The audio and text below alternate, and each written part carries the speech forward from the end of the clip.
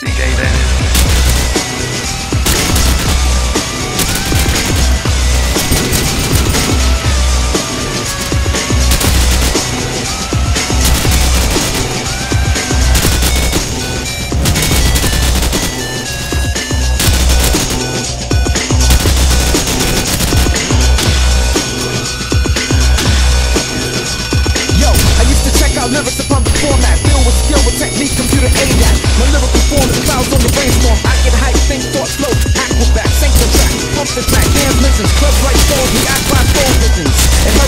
reflect from the dance floor, blowing up and having that.